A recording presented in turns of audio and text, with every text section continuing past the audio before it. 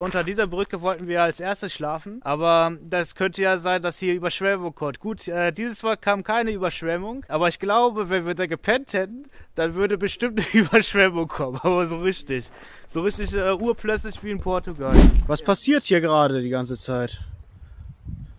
Ich habe hier geschlafen und äh, auf einmal wurde ich nass. Wir werden hier total überflutet. Wir sind hier auf dieser Insel hier gefangen. Jetzt müssen wir irgendwie unser Schlafplatz hier retten. Es wird immer höher und das, das Wasser. Ich muss meinen Tarp retten. Diese ganze Tarp ist nass. Ich glaube, meine Heringtasche ist irgendwie weggeflossen. Herr Goldmann versucht jetzt gerade sein äh, Dings abzubauen.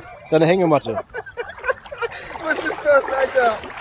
Und das wird immer tiefer irgendwie. Es müssen die ganzen Sachen hier eingepackt werden. Und mein ganzer Schlafsack ist schon wieder komplett durchnässt hier. Weil ich hatte das erst gemerkt, wo, wo das Wasser so langsam meinen Schlafsack berührt hat. Und dann wurde das sofort irgendwie so. Das ist hier alles voll. Alles komplett voll. Wie kommt man hier weg? Aber guck mal, wir, wir kommen ja von da ganz hinten. Und das ist hier ist alles voll komplett. Wie, wie viel da weggerissen wird.